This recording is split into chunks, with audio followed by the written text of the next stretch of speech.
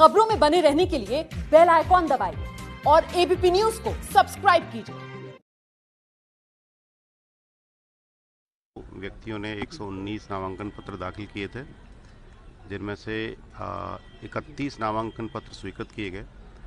एक आ, जो अभ्यर्थी थे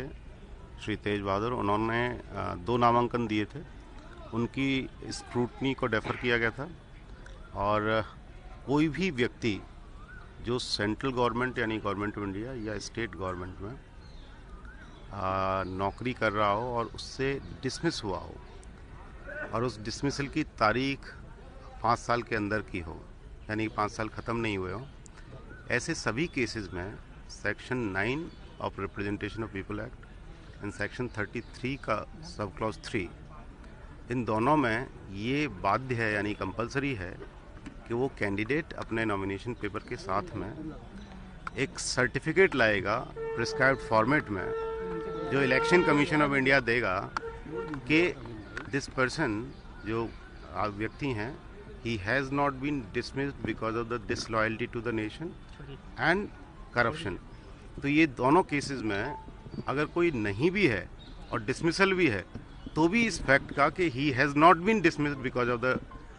disloyal to the disloyalty to the state and corruption तो दोनों ही केसेस में सर्टिफिकेट लाना ज़रूरी है। तो पाँच साल के अंदर में जो भी सरकारी आदमी अगर कोई डिसमिस होता है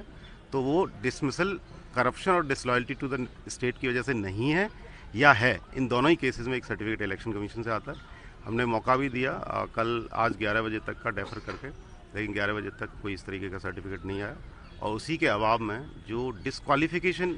representation of people act में निर्धारित है। उस डिस्कालीफिकेशन के आधार पर और जो प्रोविजंस हैं उनके आधार पर एक लॉन्ग स्पीकिंग ऑर्डर पूरा सुनवाई के बाद जो ऑब्जेक्शन आए थे उनकी सुनवाई के बाद सबको समाहित करते हुए जो श्री तेज बहादुर हैं उनका नामांकन निरस्त किया गया सर किनको सर्टिफिकेट कहाँ से लाना था पीएसएफ से चुनाव आयोग से? सर आपने तो बताया।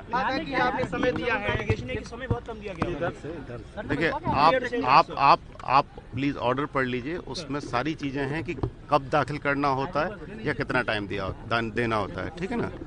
जो जो जो भी स्क्रूटनी है वो scrutiny maximum next day 11 o'clock तक डेफर्ट की जा सकती है एडजॉर्न की जा सकती है जो कि हमने मैक्सिमम टाइम दिया। तो आ, जो कहते हैं ignorance is no excuse in the eye of law तो कैंडिडेट कोई भी कैंडिडेट जो डिसमिसल हुआ है पिछले पाँच साल में, उसको अपने साथ वो certificate election commission of India से इशू करा के लाना होगा। इलेक्शन कमीशन ऑफ़ इंडिया में अप्लाई करना होता है। आप डिटेल्ड जो ऑर्डर है, उसके डिटेल सारे प्रोविज़न निहित किए गए, सारी बातें लिखी गई हैं।